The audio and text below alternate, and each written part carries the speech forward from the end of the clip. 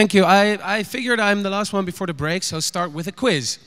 Um, uh, data retention, de wet bewaarplicht telecomgegevens, uh, is logging uh, for every European citizen uh, who they communicate with, um, how long, and where they were at that given time.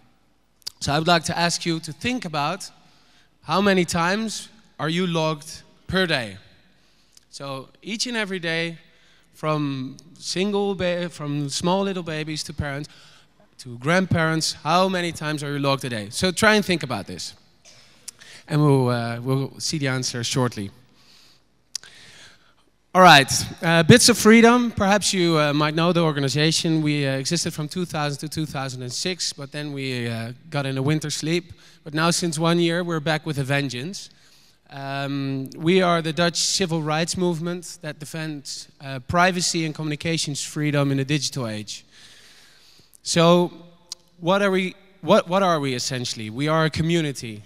Uh, it's not about the three people that are our staff that uh, work uh, from day-to-day -day basis or one intern, but it's about all those people in the Netherlands and, and communing them, forming a community so uh, to enable and facilitate the discussion and the participation to defend your civil rights. Uh, privacy in the age of databases, that's what I want to talk about today. Um, that of course consists of two elements. The first is privacy. So privacy is as old as humankind. In all the various different religious uh, writings, the Bible, the Quran, the Torah, there are some elements to be found on privacy. Uh, even in our, uh, uh so in our uh, European uh, Convention of Human Rights in Article 8, the respect for the private life is enshrined. So what is it essentially? Well, it, it began, began as a uh, a bodily integrity, right? So you have the right to owe and to uh, manifest your own body as it is, and no um, uh, faltering or whatever should be allowed. Then it extended to the house, to the private house. So not uh, state authorities, companies are not able or are not allowed to enter your uh, private home unless they have a warrant or some other reasons. Then, when photography came about, and this is very interesting. When photography came about, it were uh, well, it enabled uh, uh, uh people to uh, instantly and directly um, capture them in their context and their relationships. So, as a reaction on the emergence of photography in the end of the of the 19th century, it extended privacy extended to relationships, and then in the 1960s uh, a very famous demonstration in Amsterdam as well, the Volkstellingen demonstratie, which was about counting all the people.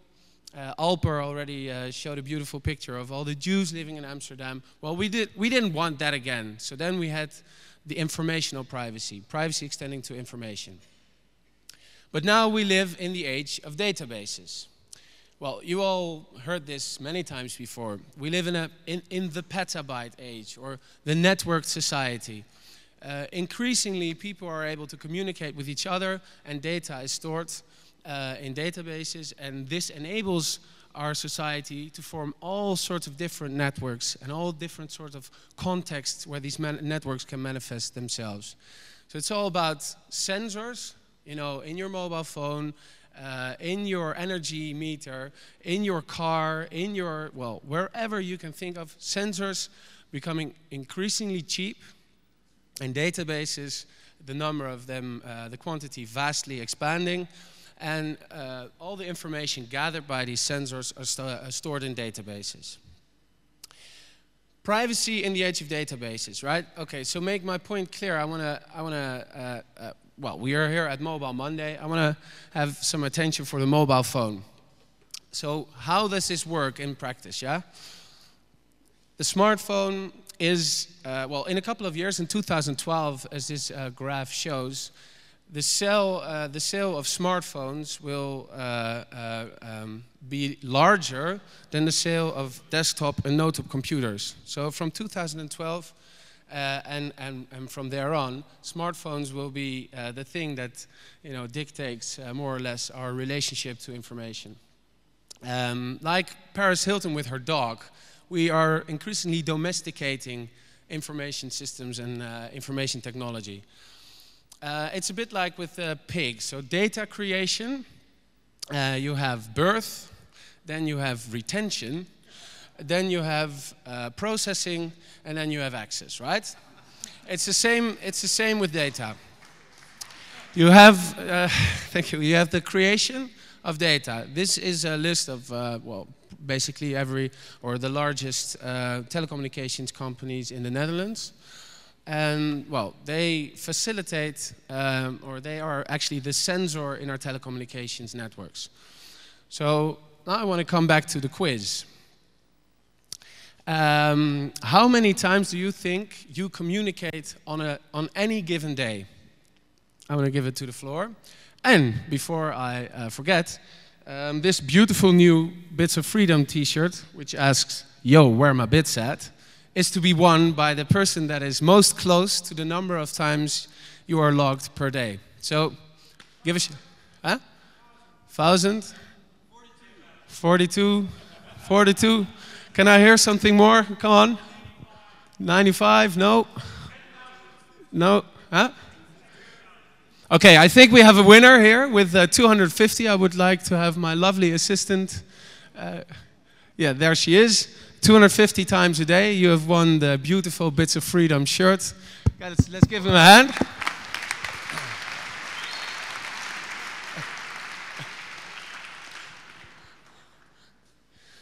So, figure this. that, by the way, is uh, Yilda, our intern, our lovely intern. Give her a hand.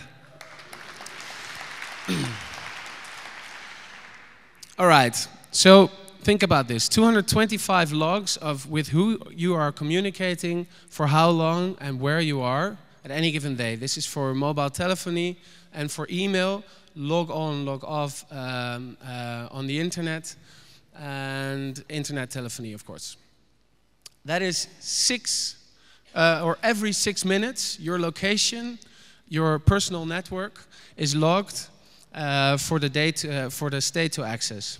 And then the customer data, so your mobile te telephone number, IP number, your email address, uh, well, you name it, customer data, is uh, uploaded to this central government database Centraal Informatiepunt Onderzoek Telecommunicatie, CIOT. So every day, your customer data is uploaded to this database of every single person in this room. And even now, as uh, I'm saying this, there are plans to extend uh, this pro, uh, daily upload with your traffic and your location data as well. So in a couple of years, if we don't rise, your, uh, not only your name, your IP address, your telephone number, but also with who you call, how long, and where you were at that given moment um, is uploaded in a central government database. And this database, as we speak, is accessed 3 million times a year. This is quite a lot uh, if you consider we're only 60 million. Right, in this uh, article uh, in NRC, you will see that the rise of this 3 million uh, number is 33% per year. So uh, imagine where we are uh, in 10 years. 10 years ago, we were uh, only at 150,000. So this makes us number one per capita in the European Union. In the Netherlands, here we are. Um, the results of these sort of developments are that we, uh, uh, while the most beautiful thing is happening uh, as of now, we get mobile phones, we have the opportunity to network with each other. We, our trust in ICT is, is vastly decreasing. In Germany, of course, they had 20 years ago uh, some sort of a nasty experience that we don't have, but 50% of all Germans uh, refrains from communicating uh, through ICT with their uh, doctors, with drug clinics, with um, uh, psychiatrists, because they know they will be logged and they know this information can compromise them. Uh, in the Netherlands, uh, there's a very interesting trend as well. I'll come back upon this later. So, privacy in the age of databases presents us with a, a huge, huge, and very important question. We have these opportunities to tackle global warming, to raise, uh, allocate uh, resources more efficiently. Uh, we, we live in the most beautiful and exciting times, but at, at the other hand, it has a dark side. Do we really want to be logged each and every movement we do? Do we really want that? Well, uh, at Bits of Freedom, we uh, think a lot about this, and we think we've come up with a quite a clever solution. Well, these smart systems, they require smart solutions. So we started off 2,000 years ago with the body. Then came the house, then the relationships, then the information. What would this smart solution be? Of course, it would be extending the protection of your civil right to privacy to databases. How would you do that? Well, probably a lot of you have already heard uh, of the term privacy by design. That is ground rules that you should take into account when you design a database. Um, uh, there are some sub, you know, privacy by design is quite a vague sort of buzzword, but that means defining the goal very specifically and clearly before you start building the database. Uh, consider OV chip card, the transport, uh, the national transport card. The goal of this transport card was to check whether people had paid uh, their ticket. And it was, perhaps, to more efficiently uh, um, allocate uh, resources and more efficiently build the tr public transportation network. So why, tell us why, is every single movement of every single OV chip card holder on a personalized basis logged for seven years? This was never the goal of the database. Well, what of course happened was when the database got presented to the government, the government said, hey, well, that's interesting. Let's log that for seven years. That was never the goal. And there are many other sub-criteria, but I won't go into that because of the time. So think of privacy protection when you design the database. Then, transparency by design. Build into your database the, the, the utmost transparency possible. Uh, Robert already uh, uh, uh, came upon this in his presentation, but if you have transparency in your database, then you automatically will protect the privacy of your users because you don't want your users to know uh, what the heck you're up to. If, for example, advanced technologies, uh, which uh, launched a quiz that two and a half million Dutch people uh, uh, participated in, it's called www.jeechteleeftijd.nl, uh, yourrealage.nl. If all those two and a half million users would have known that this data would be sold to Pfizer, uh, the maker of Viagra, um, then perhaps not two and a half million people would have participated because one of the questions was, how often do you masturbate per day? So transparent, be transparent on what you do, be transparent on what, what happens with the data. And then anonymity by design. If you don't need to know the identity of your users, just don't. We don't need to know uh, where every single user is going uh, by train. Uh, we always had the tickets, so why do we now need to know the identity of every specific person and every movement uh, when we didn't know it, knew it in the first place and when it wasn't the goal? And then a very important last uh, uh, sub-criteria that is user control. Give users the, the, the power and the control over their own data. Consider the elektronische patiëntendossier, the electronic uh, uh, medical records uh, dossier, where, uh, you know, I've, I've done some stupid things in life and I, I was in hospital but that's absolutely not relevant for my personal medical record for the coming 50 years. You know, I was a student, I was at parties, I drank too much, I, I was in hospital, but if I want to have the power to delete that from the database, I should have that power. And it's absolutely irrelevant for the rest of, the, for, for the rest of my medical history. So give end users the power to control their own data, and, and, and then you'll be safe.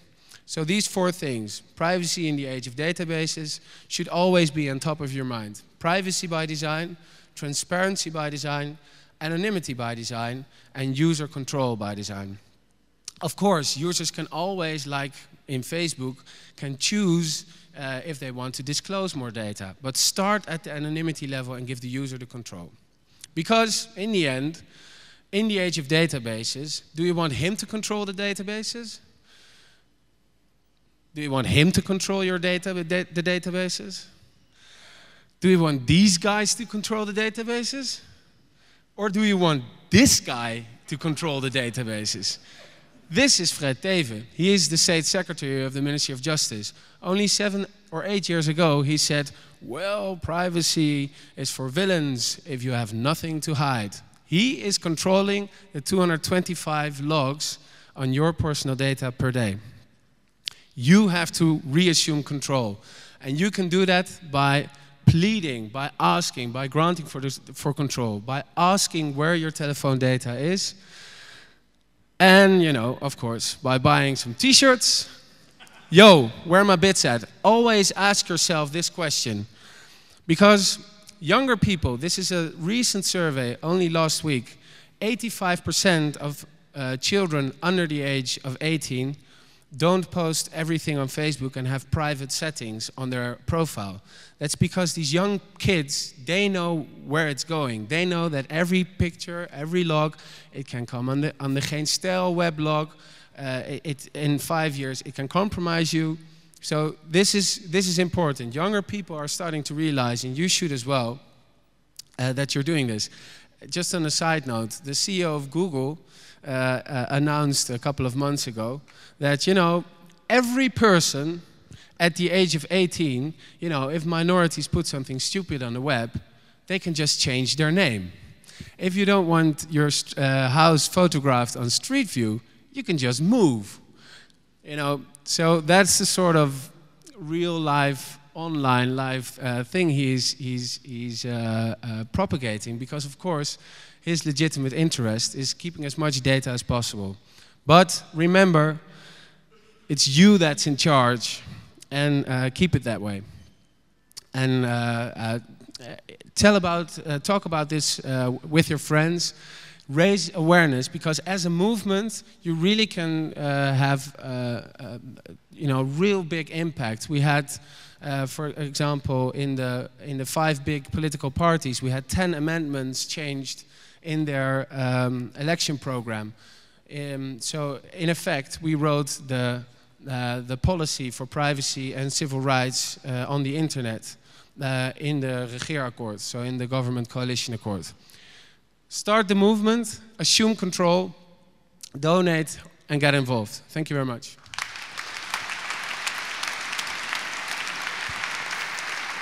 Hold on.